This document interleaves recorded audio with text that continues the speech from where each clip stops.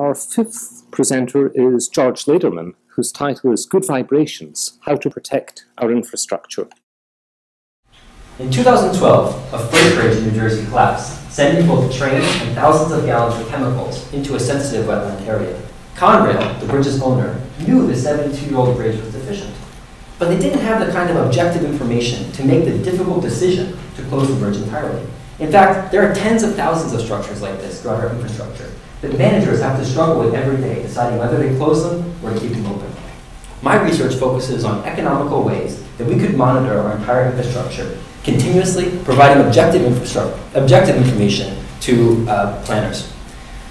our system works like this. We've been placing sensors in order to test our system on Pittsburgh's light rail system. We first acquire data from the vehicle with accelerometers. We're looking at the vibrations of the vehicle. Next, we process it to uh, handle some of the environmental variability, right? There's uh, significant problems in the infrastructure, such as uh, cold temperature, high winds, or flooding. We look for features which are robust to this variability. Next, we look at changes. Previous people who have done this kind of work, they have tried to model the way the infrastructure responds.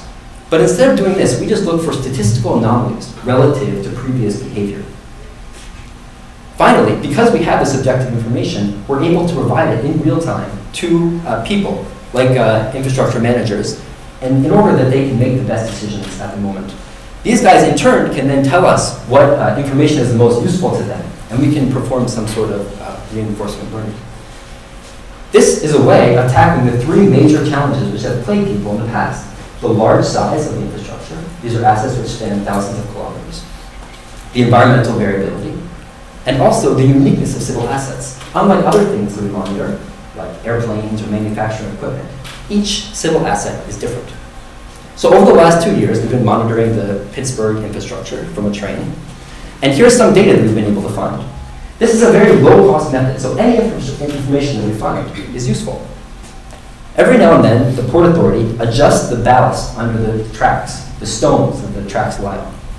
And when they perform this, uh, last year, we were able to see it. So on the left, we see a 10 kilometer section of track. This is the amount of vibrations in the train as it travels over the infrastructure, before and after this maintenance procedure has been performed.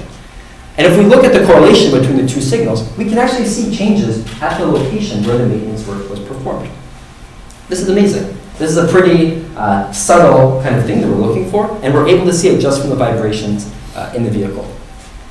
So I'd like to leave you uh, with one last slide. Our infrastructure continues to deteriorate uh, each day. But uh, sensors and computational devices like smartphones are becoming more and more pervasive. If we can harness the information in these devices, we can tell the state of the infrastructure just from the vibrations you feel on the way to work. And we can ensure that collapses like this don't happen